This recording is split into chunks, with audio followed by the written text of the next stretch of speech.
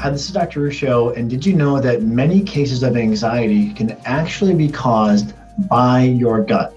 And let's discuss a systematic review that reviewed all of the available randomized control trials, establishing, thankfully, that treatments for your gut can actually improve your anxiety. Now, here's a study by Yang et al., published in the Journal of General Psychiatry, and I'll put the abstract up here on the screen entitled Effects of Regulating Intestinal Microbiota on Anxiety Symptoms, a Systematic Review. Now, again, a systematic review will oftentimes review the available randomized control trials and summarize the findings. So, this is arguably the highest level of scientific evidence. And thankfully, what they've concluded, as I'll outline here in a moment, is that treatments for the gut can improve anxiety. Very, very thankfully. So let's dig into some of the details. Now, to quote, more and more basic studies have indicated that gut microbiota can regulate brain function through the gut brain axis, and dysbiosis of intestinal microbiota was related to anxiety. However, there is no specific evidence to support treatment of anxiety by regulating intestinal microbiota. Well, I would I would not agree with that, but this is what they're trying to rectify. So the aim of their study to find evidence supporting improvements in anxiety symptoms by regulating intestinal microbiota. Now, intestinal microbiota is just another way of saying the world of bacteria and fungus and other like organisms in your gut. Okay, so let's continue. Methods. This systematic review of randomized control trials looked through 3,334 articles, and only 21 were high quality enough to be included in this analysis, with a total of about 1,500 patients over the 21 studies. Now, here's where things get really exciting. Let's look at the effect of the treatment study. 14 studies chose probiotics as an intervention, and six chose non probiotics, mostly diet. And the diet most often used, although not exclusively, was what's known as the low FODMAP diet, a diet that helps to starve bacterial overgrowths, which can be problematic, can cause gut symptoms, can cause inflammation, and through the gut brain connection, can cause anxiety. Now, regarding probiotics, you'll hear claims that a certain special probiotic is the best for anxiety or depression. And for years now, I've been saying that probiotics are not that specific. Probiotics are not like drugs that operate on a very narrow pathway or mechanism, but rather, probiotics in helping to heal and rebalance the gut can have a wide array of improvements that they lead to because they are oftentimes treating the underlying cause gut imbalances of multiple symptoms. This is how we can see different probiotic formulas show improvements in things like skin, various skin conditions, various allergic conditions, various neurological conditions, as we're discussing here, anxiety, but also other evidence showing improvements in things like depression and the ability to fight various bacteria and fungus in the gut and improve symptoms of IBS, gas, bloating, constipation, loose stools, and diarrhea. And thankfully, regarding the probiotics, again, a specific special probiotic formula was not needed. Various probiotic formulas from single strain all the way up through multiple strain probiotics all showed benefit. So, what that tells you is you don't have to be highly prescriptive or specific with the probiotic that you use, and you don't have to be um, held hostage necessarily by marketing claims that you must use only this probiotic or that probiotic in attempts to improve your gut brain connection and therefore your anxiety. And here's where things get really exciting. And I'll quote 56% of studies could improve anxiety symptoms. So 56, over half of the studies, whether they're using probiotics or diet, most namely the low FODMAP diet, show the ability to improve anxiety.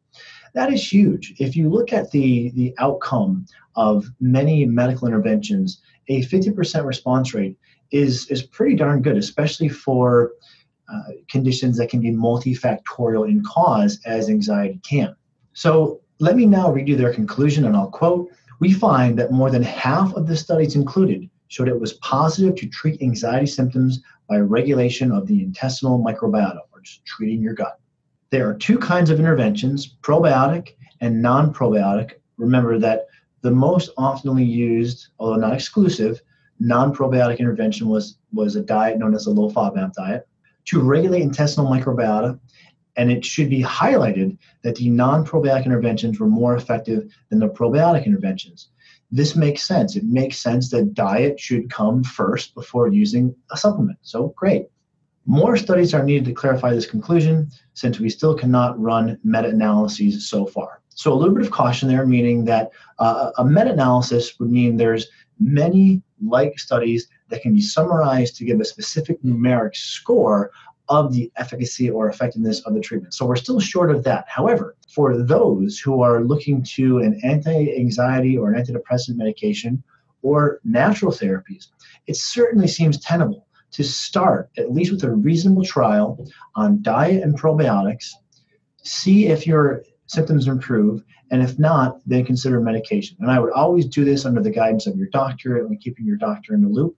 But great news here that those who are suffering with anxiety have some great natural, nutritional, and, and, and supplemental options that have at least some high level preliminary evidence supporting their effectiveness. Now, what can you do?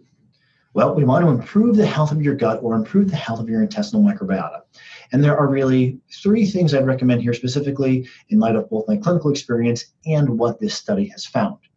One, improve your diet. You don't necessarily have to go to the low FODMAP diet right out of the gate. That's a little bit more of a specialty diet. If you haven't gotten sodas and sweeteners and sugars and processed foods out of your diet, of course, start there. Focus on cooking all of your own food and consuming whole, fresh foods. Nothing prepackaged, nothing processed. Buying meat, vegetables, fruit, fish, eggs. Start there. Now, if you're already doing that, then you can go to a trial on the low FODMAP diet. And I will put our low FODMAP diet up here on the screen and also link to it. And I believe this to be one of the most up to date low FODMAP diets available because we do follow the research literature here closely and update continuously our low FODMAP diet as new evidence becomes available regarding the FODMAP content of various foods. So, basic dietary changes, if you're already there, low FODMAP diet, and you only need a couple weeks to start seeing improvements from this diet if it will work for you. Now, if you've given this diet a few weeks and you're not noticing any movement of your symptoms, any improvement, then you can go on a probiotic protocol. Now, again, the probiotics are not highly specific. However, I have found it very effective to try a well rounded probiotic protocol. Some people will not fully respond to just one probiotic or one strain of probiotic because they need more of a litany of healthy probiotics. And that is why I've developed the three category system, which ensures that you will have one good probiotic formula from the three major categories. And I've linked to all the information here. I'll also put just a quick screenshot of what that looks like up here on the screen. But essentially, we can look, or when we look at the probiotic research, we see that amongst all the hundreds of studies, we can organize most probiotics into one of three categories. And you want to try all three of these categories in combination to help give your gut the broadest healthiest probiotic stimulus possible. And this can be the difference between success and failure for some people. You also want to make sure that you're using a quality probiotic. Of course, some companies will cut corners and not put very much bacteria in there, but put a lot of filler and therefore be able to have a very cheap probiotic. However, you're getting what you pay for. It's also not to say that the most expensive probiotic is the best. There is a balance here to be struck, and I think we've really achieved that in the three category probiotic protocol that we recommend. So, in close, if you have anxiety, fortunately, there's some very high quality preliminary evidence showing that various treatments for your gut, most namely a low FODMAP diet and probiotics, can be effective and can improve your anxiety. And so, if you're suffering with anxiety, don't suffer another day.